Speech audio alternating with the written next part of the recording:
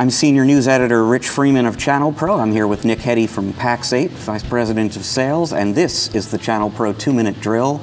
Nick, you're on. Great, thank you. Thanks for the introduction.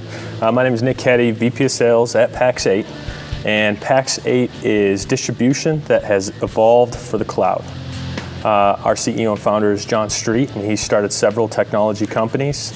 Uh, and the most recent, before Pax8, was a company called MX Logic, uh, which was later acquired by McAfee. But he tried multiple times to take MX Logic through distribution and found out there are um, subtle nuances when selling SaaS products that the big box guys are, are just not built well for. Um, so we think when it comes to cloud, that distribution is currently broken.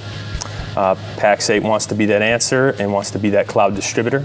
And what we do that is different is uh, we feel like we have some real advantages operationally. So we have APIs that will automatically provision accounts. Uh, we know that there are uh, subtle nuances when it comes to billing, when they start, um, and adding and subtracting licenses. Uh, so we have some fixes for that.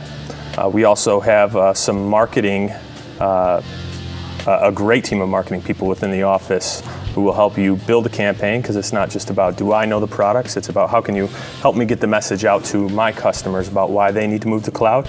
And then we also have sales pre and post support, meaning that our guys know how to demo everything, can jump on a call with you, and really help you sell it. So, my one message would be uh, Pax8 is a, a distribution evolution, and we are the underdogs. You might not have heard of us yet, but hopefully soon you will.